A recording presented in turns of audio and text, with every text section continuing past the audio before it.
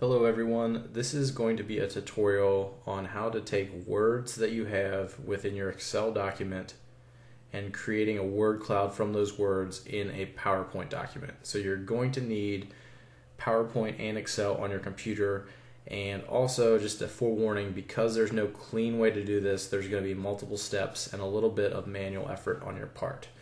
But what we're going to do um, is just start out with um, the assumption that you know the words that you want to use in your word cloud.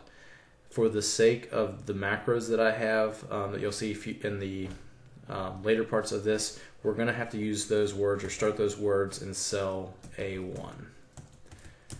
And I'm going to assume that you have 10 words, but you can have up to 100 words given the way I've written the macros. And these words will have different font sizes, likely based on the frequency of their um, appearance within a given body of text. So we're going to assume that word 1 and word 2 happen the most frequently. So we're going to give them a font size of 72. And then we're going to just slowly descend in font sizes as we go along. I'm just randomly selecting numbers here that I think are like fairly common font sizes, but I'm probably wrong on some of these. And we're going to get real small here on word 10, font size 10. Then word clouds oftentimes have different colors for each word. I'm going to achieve that by writing a concatenate function with the rand between function nested within it that's going to give us randomized RGB color schemes, which are between the numbers 0 and 255. I already see an error here. I got to put commas between these. And to do that, I need to tell the concatenate function that I want that to happen. So I have to have quotes around the parentheses between my rand betweens.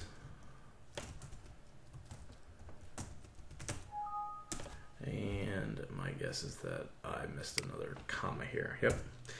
So I needed a comma behind the rand between to let the concatenate function know, know that I'm starting a new character. The new character is a comma, so I need to put it between quotes and then another comma to start the next rand between. And I need to do that one more time um, for my final rand between 0 to 255 because our RGB color scheme needs three numbers. And I did the same error here actually. So one more comma, and we finally get the number here. So if you get that error, um, same error message as me, just make sure that you have the same comma scheme. Close parentheses on your RGB or your rand between function, um, open quote, comma, close quote, comma, rand between again. And then you're gonna have to do that same thing between the third rand between function. Now that we have these, we're going to have to get uh, into the VBA code, or we're going to create macros actually. Um, but I'm going to make it real easy by dropping the code into the YouTube um, commentary.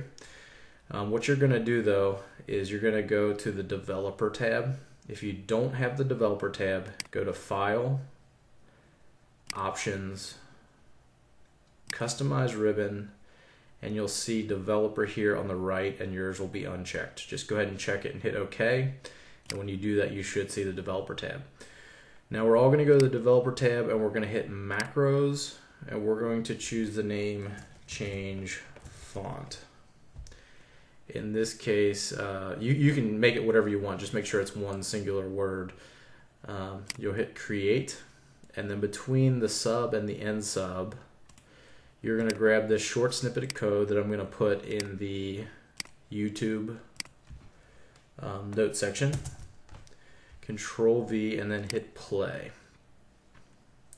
You're going to hit end on this uh, this error message, and that, that's occurring because we have the ran between function going, so it's just constantly trying to re um, redo that macro. I believe is what's causing that and you'll see that we're going to get different word colors and sizes based on what we put in column B and C. Now this is one extra step that's uh, going to make our life a little easier later on. We're going to go to, um, let's see, the page layout tab and we're going to uncheck the view grid lines so that we have a completely um, blank background. Again, that's going to make this next step a little easier where we go back to the developer tab, go back to macros, hit um, in this macro name, hit delete, and we're going to create a new macro called create cloud, all one word. Again, whatever you want, but just make sure it's one word. Hit create, and you're going to get this new sub and sub section down here. You're going to grab this next snippet of code that's a lot longer in the YouTube um, comment section, hit copy, hit paste, and now you're going to run this as well by hit, hitting play. When you do this, you're going to open up your PowerPoint and you're going to see those words get dropped in as images, as, as one singular image. Here's where the manual part comes in. We're going to right click on the, the words that we have here. We're going to go to the group um, message here and we're going to ungroup. It's going to give us a message, message where we hit yes and then we can move around the individual words. And to make it look like a traditional word cloud, you can just play with the orientation of the given words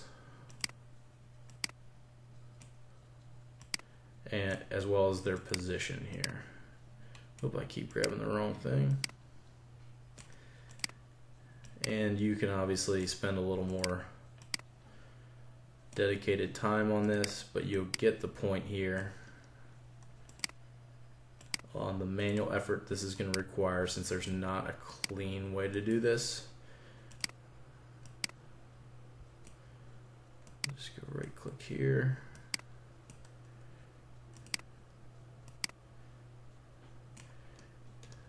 And we can delete this default thing. So again, not the prettiest word cloud that I have here because I, I rushed through this during the tutorial, but you can spend a little more time to randomize where you put these and the orientation of the words. But this is the best way I found and the most um, non-labor intensive way to create this using Excel. Um, so hopefully this helps out.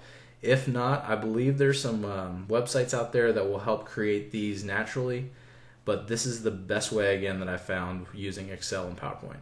Thanks a lot for watching. I hope this helped.